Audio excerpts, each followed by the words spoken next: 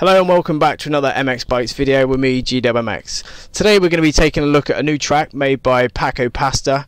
Um, it's an arena cross track, built in a nice little stadium, really well built. Uh, it's an easy track, good for beginners. Um, I do suck at Supercross and Arena Cross, so you'll have to excuse me on that. But before we get going, I just want to give you a quick overview of our new team bike that's coming out, which is actually me, the Fat Controller, and Asdrael. Um, yeah, so this is our gear, or one set of the gear. This is the bike. Um, we're going to be entering it in the GTX online racing, uh, the GTX um, 250 Nationals is actually coming up uh, on the 15th of October. It's an eight round series. The first round kicks off at the JS7 compound, which is actually next Saturday. Um, it's going to run all the way up till Christmas. There's actually prizes, which are real trophies. Um, EKS brand goggles are kind enough to give us uh, some goggles for the first place, the winner.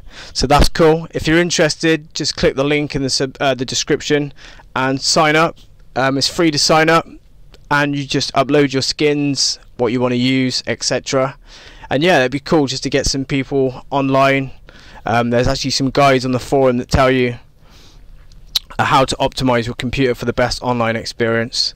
Um, and yeah, pretty much that's it. I'm not going to chat uh, for the rest of the video. I'm just going to let you watch the video and enjoy it and laugh how, how crap I am. And um, don't forget to like and subscribe and I'll see you in my next video.